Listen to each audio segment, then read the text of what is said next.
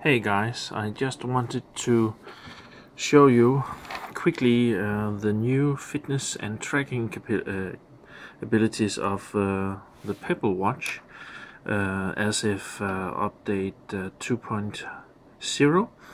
The watch has gained the ability to track steps and sleep.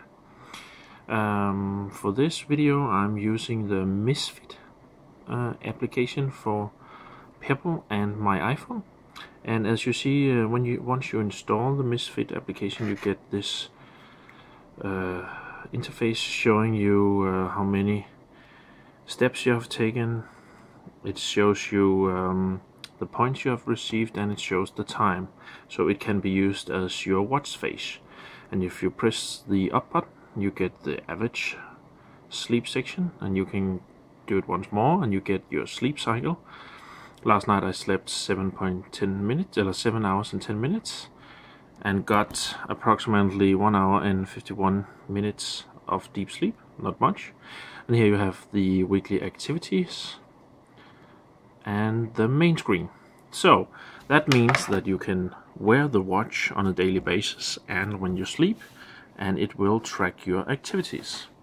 So, how do you use this uh, with an app? Well, firstly, you use the Pebble app on your phone, and it's just like with any other application on the Pebble phone. You download this, in this case, the Misfit app, and once you have done this, you will be able to send uh, data from the Pebble Watch to your phone. And then we can go into the Misfit app. Just to show you quickly how it works, it syncs wirelessly to your app and once it's finished syncing you can see your steps and calories burned and how many kilometers you have uh, walking.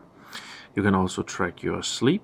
If you the sleep, you can see how did you sleep, uh, how well did you sleep, when did you have your deep sleep, and when do, did you have your light sleep, and how many hours did you sleep altogether.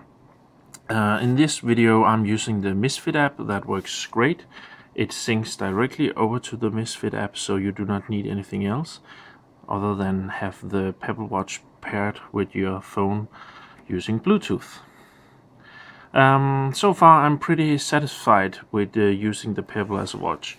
I'm one of many people who actually like having a watch and seeing what time it is on my wrist but I also want, want to uh, know how many steps I've taken and how my sleep is. And uh, many uh, of the other fitness trackers out there doesn't allow you to see anything or see much uh, any much information on your watch. Um, using the Pebble uh, allows me to run different apps besides the Misfit, Misfit app, so I can use the watch for all sorts of things, checking Twitter, mail, or notification, and so on. Not only um, fitness needs. So um, that's a quick run through of how you use the Pebble as an activity and sleep monitor or tracker uh, and how you use it with your phone. So if you have any questions, please let me know in the comments.